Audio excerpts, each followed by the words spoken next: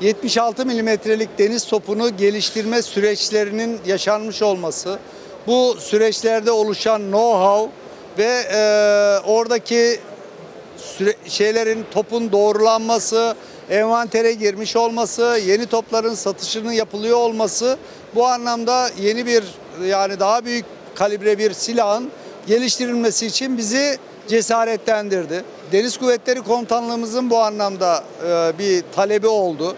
Sadece talebi olmadı, aynı zamanda desteği de oldu.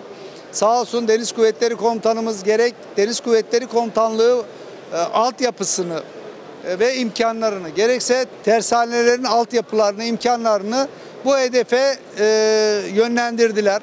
Biz de şirket olarak gerek bu 76 tecrübesinden elde ettiğimiz birikim zaten yıllar yılı top yapan bir firma olması hasebiyle buradaki altyapı bütün bunları birleştirerek 127'lik topa e, başladık. Bunun için personel istihdam süreçleri devam ediyor.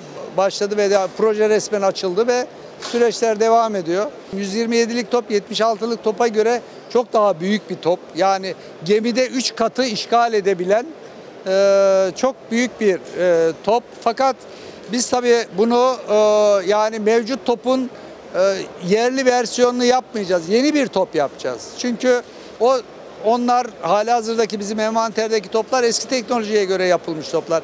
Gerek o hidrolik sistemleri, mermi ikmal sistemleri, işte atış kontrol sistemleri bütün bunlar o zamanki teknolojiyle yapılmış şeyler. Biz günümüzün teknolojisiyle daha modern bir şekilde ve daha e, etkin, güzel çalışan bir topu deniz kuvvetlerimize kazandırmış olacağız. Burada tabii gerek e, 127'likte olsun, gerek 76'lıkta olsun bunu üretebilen ülke sayısı az. 4-5 tane ülke var. Türkiye'de onlardan birisi haline geldi. Bu e, şu anlama geliyor. Dünyadaki bu anlamdaki pazar eğer maliyet etkin bir şekilde ortaya koyabilirsek ki bunu 76'lıkta başardık. Ondan sonra inşallah 127'likte de başaracağız. Maliyet etkin bir şekilde ortaya çıkarabilirsek bunu e, 127'likte de tıpkı 76'lıkta olduğu gibi e, rekabet edebilme şansını yakalamış olacağız. Yakın hava savunma sisteminde kara testleri tamamlandı. Şimdi işte şeyde deniz platformunda yani e, muadili yerli bir ürün tamamen kendi özgün tasarımımızla geliştiren, geliştirilen ve e, performansı bir tık daha üstün olan bir e, şey bir sistem geliştirdik ve bunların gemi entegrasyonları e, önümüzdeki ay başlayacak.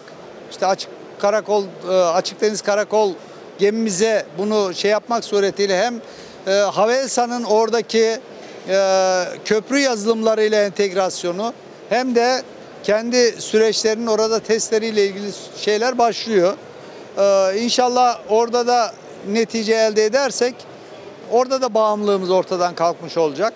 Ve bu e, gemilerde sadece hali hazırdaki kullanıldığı gibi birer tane değil değişik yerlerine birden fazla şekilde bunu koymak suretiyle gemilerimizi daha güvenli hale getirebilme potansiyelimiz de doğmuş olacak. Aynı zamanda bu yeteneği karada da değerlendirme imkanı olacak. Şimdi burada standa getirdiğimiz e, sistem aslında kara için tasarlanan yani bir tır dorsesine yerleştirilmiş mobil bir sistem bu. E, dolayısıyla karadaki şeyleri sabit nokta hava savunmaları içinde bunu e, değerlendirme imkanı olacak. Ben teşekkür ederim. Sağ olun.